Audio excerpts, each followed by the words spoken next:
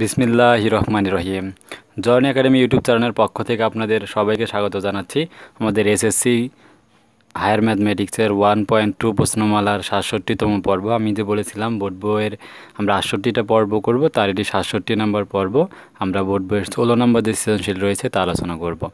বলা রয়েছে এফ সাজ ড্যাট আর টেন্স টু হচ্ছে আর অর্থাৎ এখানে যে সেট যা থাকবে তার এফের যে ফাংশনটা আছে তার সবগুলো রিয়েল নাম্বারের সদস্য এবং জি যে ফাংশনটি রয়েছে, তা যদি রিয়েল নাম্বারের অন্তর্ভুক্ত হয়, তবে আমাদের F of X equal to thrice X minus three বলা হলো। অর্থাৎ এখানে এক্স সকল বাস্তব মানের জন্য সংজ্ঞায়িত এবং জি অফ এক্সও হচ্ছে সকল বাস্তব মানের জন্য সংজ্ঞায়িত। এখান থেকে আমাদের কোশ্চেন বলা রয়েছে কয় equals to G inverse minus three এর মান কত? এফ অফ এক্স সার্বিক কিনা তা আমাদের নির্ণয় করতে হবে। দেন আমাদের বের করতে হবে, দেখাও যে G equals to F inverse one এটিও আমাদের নির্ণয় করে দেখাতে হবে। সো আমরা এই অংশটা কীভাবে আসলে প্রুভ করতে পারি, তা আমরা এখন ইজিলিভাবে দেখার চেষ্টা করব। তো আমরা শুরু করছি তাহলে। আমরা এখান থেকে ক নম্বর প্রশ্নটা আমরা শুরুতে এখন লেখার চেষ্টা করব। তো যেহেতু আমাদের বিপরীত ফাংশন রয়েছে, তা আমরা শুরুতেই যে ফাংশনটি রয়েছে, তাকে বিপরীত ফাংশনে আমরা কনভার্ট করব। আমরা শুরুতেই লিখব, দেওয়া আছে দিয়ে লিখব, দেওয়া আছে থেকে আমরা প্রমাণ করার চেষ্টা করব। তাহলে আমরা শুরুতে এখান থেকে আমরা তাহলে দেওয়া আছে যে ফাংশনটা আমাদের যেহেতু এফ ফাংশনের বের কর জি ফাংশনের তারা কিন্তু বের করতে বলছে। তা আমি জি অফ এক্স ফাংশনটা লিখে ফেলব।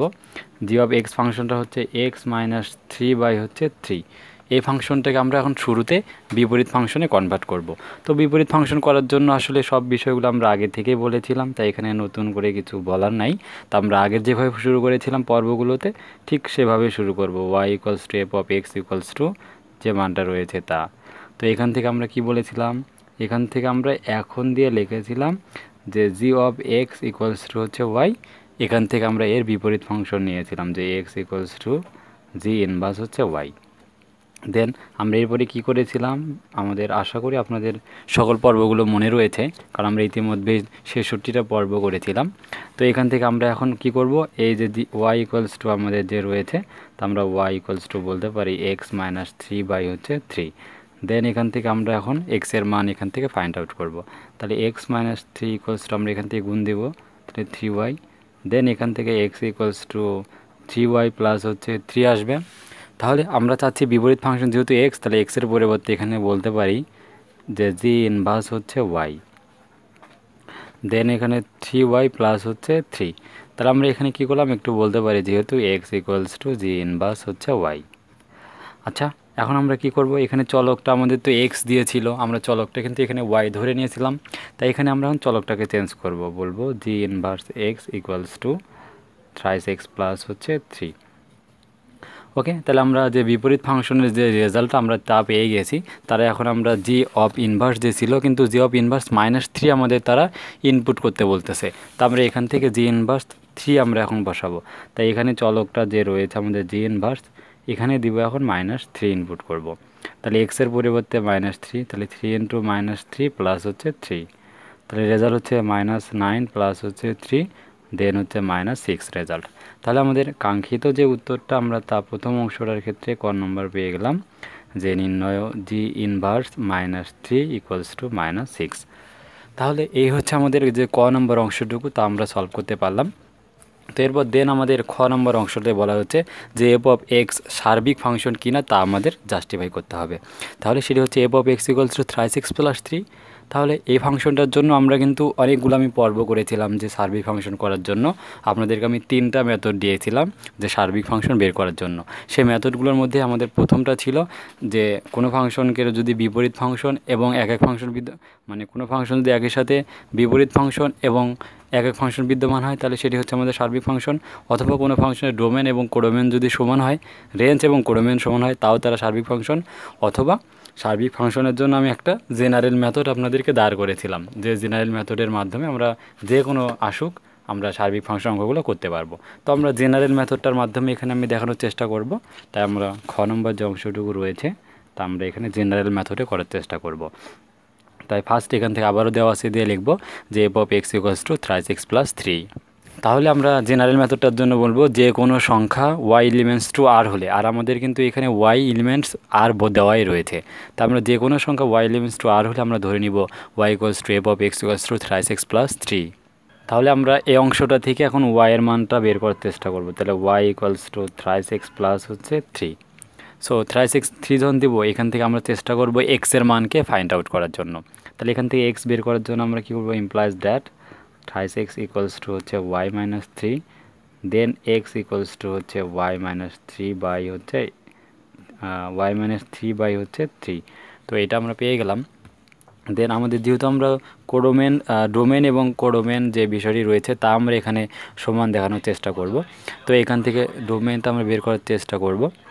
তাহলে এক এখান থেকে আমরা বের করার চেষ্টা করব। তাহলে এখন আমাদের মূল যে ফাংশনটি রয়েছে তো Y minus three by three আমরা বসাবো।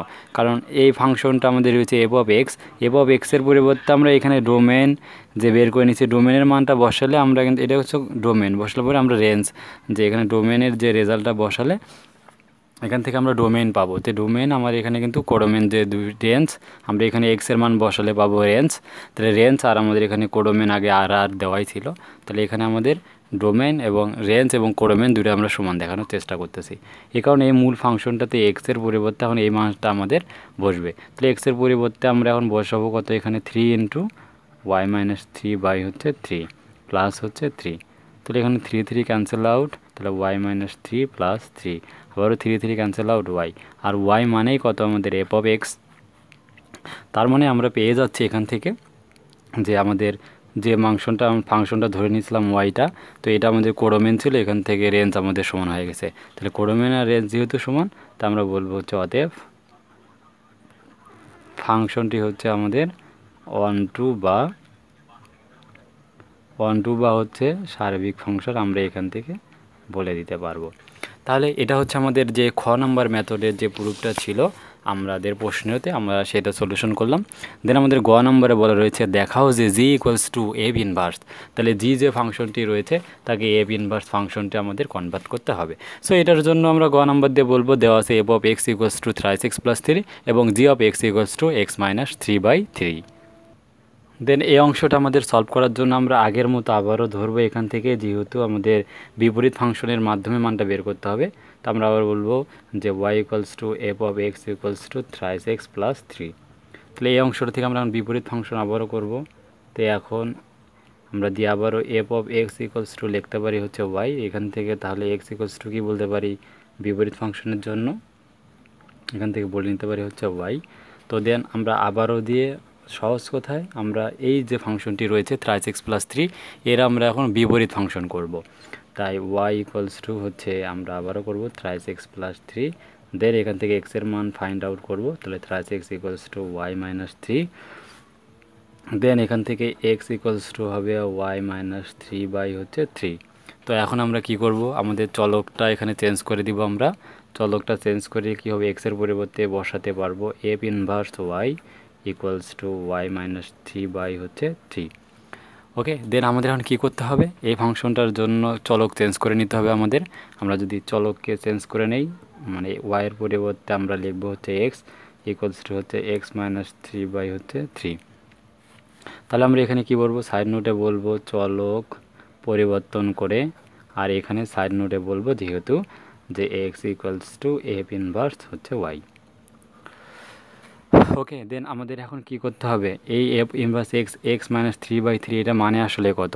এটা মানে হচ্ছে জি অফ এক্স তাহলে এই ফাংশনটা যে এফ ইনভার্স এক্স রয়েছে, তাকে আমরা বলতে পারি জি অফ এক্স দেন তারা আমাদের প্রুভ করতে বলছে G equals to F inverse তো উভয় বর্ষ থেকে আমরা যদি ফাংশন এক্সটাকে আমরা উঠাই দেই, তাহলে আমরা কি পাবো? এখান থেকে পাবো যে F inverse equals to G অতএব তারা প্রমাণের বিষয়টা আমাদের বলে দিছে যে দেখা হচ্ছে G equals to F inverse তাহলে এই অংশটা কিন্তু আমাদের তারা প্রুভ করতে বলছিল, তা আমরা সুন্দরভাবে প্রুভ করতে পেরেছি। তো আমি আশা করব আপনারা সবাই আমার এই ভিডিওটার মাধ্যমে যে খুব সহজে বোর্ড বইয়ের যে সৃজনশীল প্রশ্নটা ছিল, সাতষট্টিতম পর্বে আমি বোর্ড বইয়ের এই ষোলো নম্বর যে সৃজনশীল কোশ্চেনটা ছিল, আমি সরাসরি আপনাদেরকে বুঝাই দিলাম। যদি এরপরেও কোথাও বোর্ড বইয়ের কোনো অনুচ্ছেদ বুঝতে আপনাদের সমস্যা হয়, তাহলে আপনারা আমাকে কমেন্ট করতে পারবেন। কমেন্ট করে আপনারা জানাবেন, তাহলে আমি প্রশ্ন উত্তর পর্বে আপনাদের সকল সমস্যার সমাধান করে দেবো। অথবা যদি ইনস্ট্যান্ট আপনার প্রবলেম সলিউশনের প্রয়োজন পড়ে, তাহলে সেক্ষেত্রে আপনারা আমার পেজে অথবা গ্রুপে জয়েন করে সমস্যাগুলো তুলে ধরতে পারেন, তাহলে আপনি ইনস্ট্যান্ট সকল প্রশ্নের সমাধান পেয়ে যাবেন। সো দেখা হচ্ছে তাহলে আমাদের এই চ্যাপ্টারের সর্বশেষ বোর্ড বইয়ের আটষট্টি নম্বর পর্ব করব। সতেরো নম্বর যে অঙ্কটি রয়েছে, তাহলে আমাদের যে ওয়ান পয়েন্ট টু প্রশ্নমালা আছে, সরাসরি সব বিষয় সলিউশন হবে। সো সেই পর্বগুলো দেখার আমন্ত্রণ জানিয়ে এই পর্বটি এখানে আপাতত শেষ করছি। আসসালামু আলাইকুম রহমতুল্লাহ।